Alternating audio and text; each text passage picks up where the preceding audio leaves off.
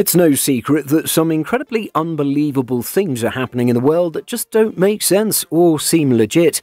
All sorts of shady stuff has been going on for years now, and a lot of the time, administrative authorities and experts try to cover them up so that the public never finds out. Believe it or not, there's a lot scientists don't want us to find out. In today's video, we'll tell you all about some of the most unsettling things scientists don't want you to see, so make sure to watch till the end and don't forget to give this video a thumbs up. Real story behind penicillin. When Dr. Alexander Fleming discovered penicillin in 1928, he revolutionized the field of medicine. The St. Mary's Hospital bacteriologist went to Scotland for the summer. He returned to find his lab messy and noticed the petri dishes had been polluted by Penicillium notatum, a mold. When he examined a dish under the microscope, he was baffled to find that the mold had inhibited the growth of staphylococci. Something inside the mold had stopped bacterial growth, and could be used to treat bacterial infections. Penicillin was the hero of the Second World War and saved many people from losing their lives because of infected wounds. The percentage of soldiers dying from wound infections went from 18% in World War I to just 1% in World War II. No wonder American pharmaceutical companies were manufacturing 650 billion units of penicillin by the time World War II had ended. Fought a bull with mind control. Jose Manuel Rodriguez Delgado shocked everyone when he stood in a bull ring holding a small metal box. He was wearing just a sweater and a tie. Suddenly, the bull turned and charged at him. Investigators stepped back and pressed a button on the box, sending a radio signal, and surprisingly, the bull stopped midway, turned around, and its aggressive demeanor changed. This behavior control demonstration occurred in 1963 in Spain. Delgado, who was a physiologist and scientific showman, considered it his signature experiment. He studied the ways a brain reacts to electrical stimuli.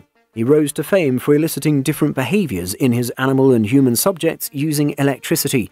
He even managed to control them and was criticized for it.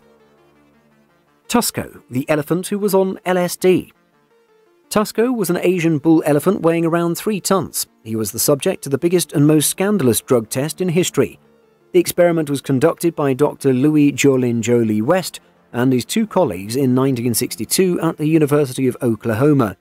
He wanted to see if the recreational drug LSD could make Tusko go into musth, which is a period when a bull elephant's testosterone levels rise and its behavior becomes exceptionally aggressive. It happens naturally to bull elephants, but apparently the West was using it in the CIA's MK Ultra program that was testing LSD on people since 1953. Tusko was given 297 milligrams of LSD. As a result, just five minutes later, the poor animal fell over, defecated, and began violently shivering. He was even unable to breathe. Twenty minutes later, he was given Thorazine, an antipsychotic, which only made things worse. Eventually, he was given a tranquilizer, but that didn't help either, and he died a few minutes later. Two headed dog. Soviet scientist Vladimir Demikhov actually made a dog with two heads. He, along with his colleagues, attempted this surgery 23 times. They began doing this in 1954. The 24th attempt wasn't very successful, but it gained traction when the Times magazine wrote about it and shared photos of the dog. Demikhov used a German Shepherd and a smaller dog named Shavka. The German Shepherd was to be the host dog, while Shavka provided the second neck and head. The operation lasted three hours, and when the two headed dog was brought to life, both heads were able to see, hear, smell, and swallow. Unfortunately, the two headed dog only lived for four days as opposed to the longest living dog from Demikhov's experiment that lasted 29 days. The Conversion Experiment Two scientists from McGill University named James Old and Peter Milner discovered that the feel-good center of the human brain is located in the septal region in 1954. When stimulated by electricity, it causes a person to feel very happy and aroused. Robert Heath from Tulane University found a unique application for Old and Milner's discovery in 1970. He wanted to see if stimulating the septal region repeatedly would turn a gay man straight. He called his gay subject patient B19.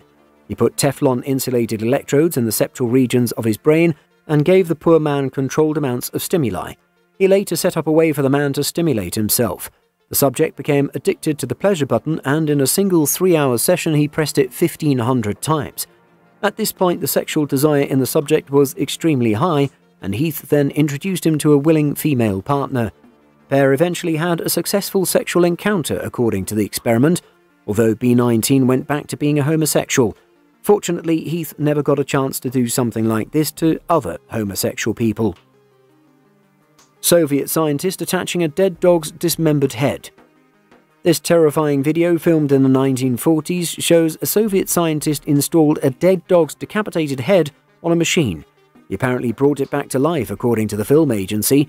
The machine looks like it can move the blood around the brain and revive some of its basic motor functions in the brain. In the same video, the scientist used the same methods to revive a dog that has been dead for 10 minutes.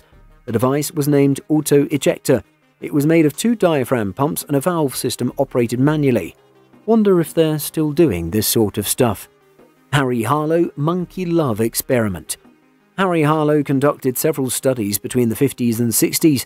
He studied how rhesus monkeys form bonds with each other. He took baby monkeys at birth and kept them isolated for three months to a year. He then put them back with other monkeys to see what would happen. The results were pretty unsettling and the monkey behaved quite strangely. The babies were initially scared of the others, but then the other monkeys became extremely mean. The babies would get picked on and even hurt themselves by pulling out their hair.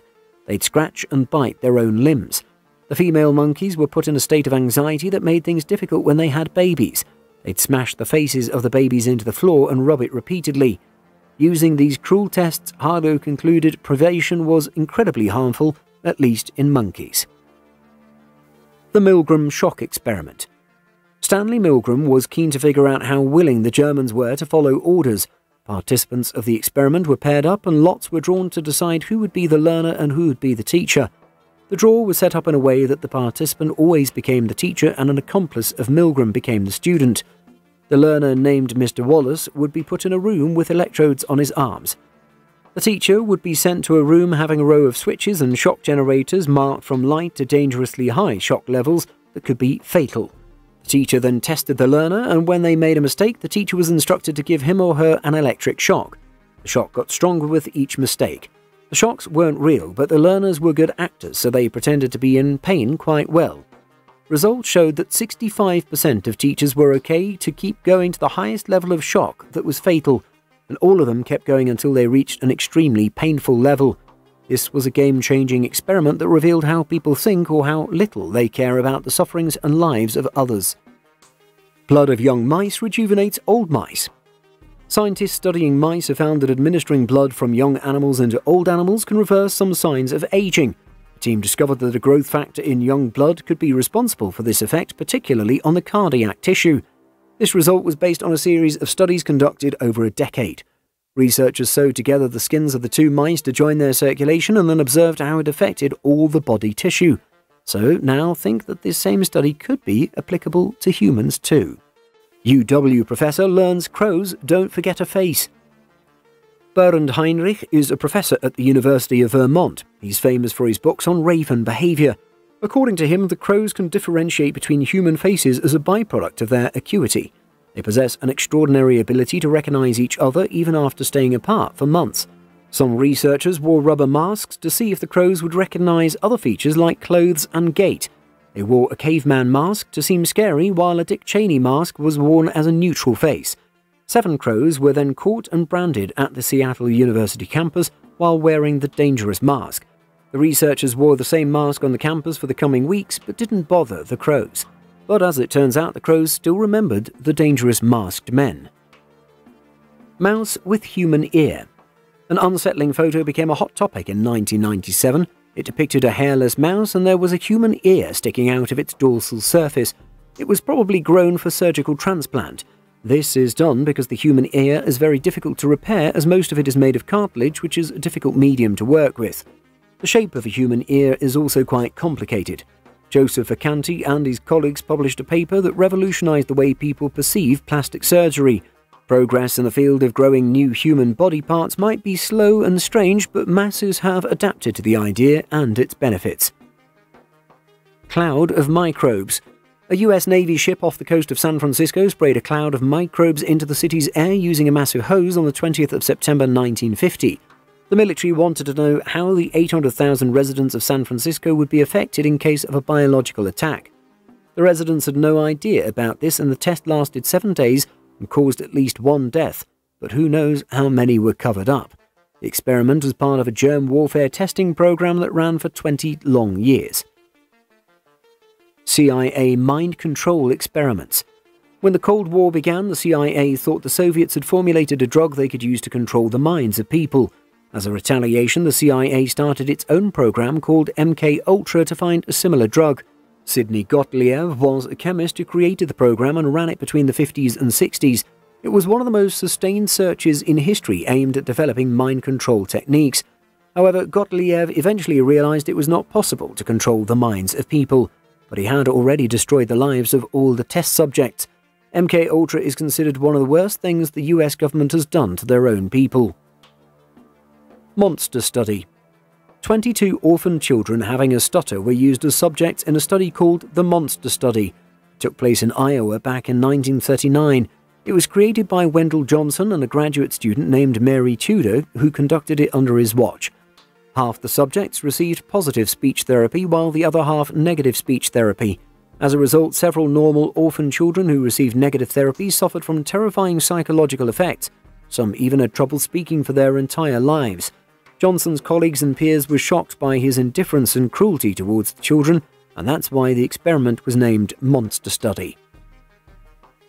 Watson's Little Albert Experiment. Two scientists named Watson and Rayner conducted this terrible experiment. They put on a rabbit and a money mask and burned newspapers in front of a nine month old baby named Albert. They documented his reactions to this. Initially, the boy wasn't scared of anything they showed him, but the next time Albert saw a rat, Watson hit a metal pipe that produced a loud noise, and naturally the baby began crying. Albert was manipulated into associating the white rat with the noise repeatedly, and soon enough just seeing the rat would make Albert cry. Poor child was given an unnecessary phobia of rats for life by two inconsiderate men. Nazi medical experiments. It's no secret that Nazi Germany conducted inhumane medical experiments on a large number of prisoners. Even children were not spared. Romani, Sinti, ethnic Poles, Soviet prisoners of war, disabled Germans, and the Jewish people from all over Europe were subjected to these experiments. Most of these were done without anesthesia and left thousands of people dead, disfigured, or permanently disabled. Under the leadership of Edward Wirth, several prisoners were subject to experiments that were supposed to help German soldiers in battle, make new weapons, and propagate the Nazi ideology of racial purity and eugenics. Horrifying twin experiments of Joseph Mengele were also part of these medical atrocities. After the war ended, these crimes and their perpetrators were tried in the doctors' trials, and the outrage over these crimes led to the creation of the Nuremberg Code of Medical Ethics. Before moving to number one on this list, take a look at this image. Jurassic Park is a cult favourite movie, but it's mostly fiction. Or is it? Turns out the Steven Spielberg film has inspired the Chinese to try dinosaur DNA and plan to set up an actual Jurassic Park. They've kept it a secret so far, but it will probably destroy the tourism industry in the rest of the world for sure. Would you visit it? Tell us in the comments. The Tuskegee Syphilis Experiment a charity called the Julius Rosenwald Fund initiated a public health project aimed to rid the black people of the rural American South in 1928 of syphilis. When the Great US Depression hit the nation, the project was changed, and instead of curbing health problems in poor and underserved areas, the black men from Macon County, Alabama were defrauded into enrolling into a program that would supposedly treat their bad blood. They were offered free medical care, food, and other advantages in exchange for participation. But the men had no idea that they'd been chosen for the program because they had syphilis. They also had no idea they were becoming a part of the Tuskegee study, a government experiment to study untreated syphilis in African Americans. So the government lied to them. Participants of the study thought they were getting medical care, but reality was far from it. This means even when penicillin was established as the standard drug for rapidly treating syphilis in 1947, the experiment went on. The ethics of the study came under fire in 1936 but despite that, it continued until 1972. These were some of the most horrifying science experiments in human history. Do tell us in the comments section what you think about these. We'll be back soon with another mind boggling video. Until then, have a great time.